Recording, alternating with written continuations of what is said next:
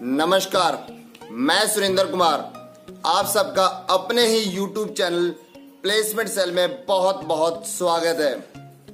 आज की इस वीडियो में मैं आपको बताने वाला हूँ जूनियर इंजीनियर की लेटेस्ट वैकेंसीज के बारे में। इसलिए इस वीडियो को शुरुआत से लेकर एंड तक ज़रूर देखें, ताकि आपको सारी जानकारी और सही जानकारी मिल सके।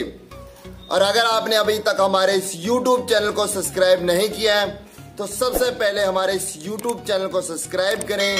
साथ में बने बेल आइकॉन बटन को भी ज़रूर प्रेस करें, जिससे कि हमारी आने वाली लेटेस्ट वीडियो का नोटिफिकेशन आपको मिलता रहे।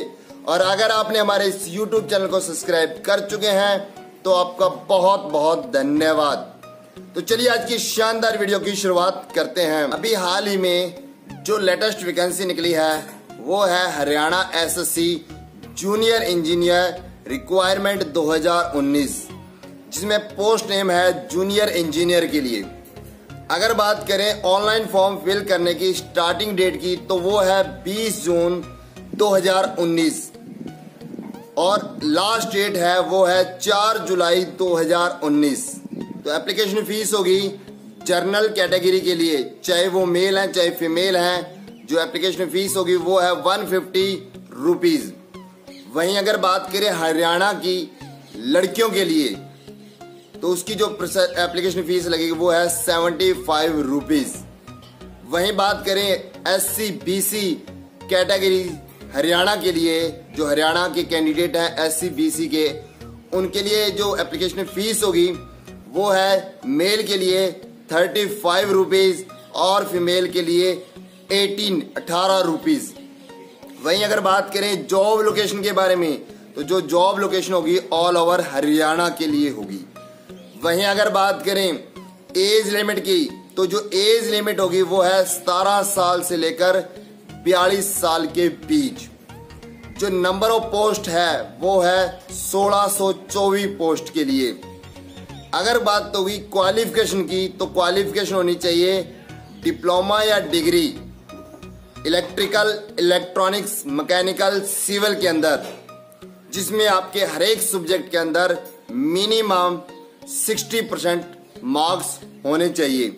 और साथ में टेंथ के अंदर आपके पास हिंदी, संस्कृत, इन दोनों सब्जेक्ट्स में कोई एक सब्जेक्ट एलिजिबल है।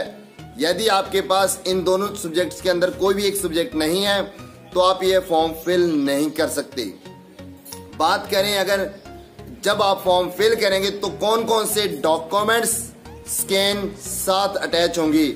तो वो है आपकी क्वालिफिकेशन यानी कि टेंथ और डिप्लोमा या फिर डिग्री आपके डॉक्यूमेंट्स कास्ट सर्टिफिकेट अगर आप बैकवर्ड क्लास से हैं या फिर आप इकोनॉमिकल बैकवर्ड हैं तो आपका इकोनॉमिकल बैकवर्ड सर्टिफिकेट आपकी फोटोग्राफ आपकी सिग्नेचर आपकी जितने भी डॉक्यूमेंट्स हैं एजुकेशन वो सारे डॉक्यूमेंट्स वही बात करें, अगर मोड ऑफ़ सिलेक्शन की तो जो मोड ऑफ़ सिलेक्शन होगी, वो है आपका रिटर्न एग्ज़ाम 100 मार्क्स का रिटर्न एग्ज़ाम होगा। ये पूरी जानकारी है। इस जानकारी को ज़्यादा से ज़्यादा अपने व्हाट्सएप ग्रुप और फेसबुक पर शेयर करना भी ना भूलें। और साथ में इसको, इस वीडियो को लाइक ज़रूर करें। साथ में अगर आप हमारे व्हाट्सएप ग्रुप में जुड़ना चाहते हैं तो हमारे व्हाट्सएप ग्रुप का लिंक हम अपने डिस्क्रिप्शन में अपलोड कर देंगे। उस लिंक के माध्यम से आप हमारे व्हाट्सएप ग्रुप में जुड़ सकते हैं, जिससे कि हम अपनी सारी जानकारी व्हाट्सएप के माध्यम से भी आपको पहुंचाते रहें। जय हिंद, वंदे मातरम।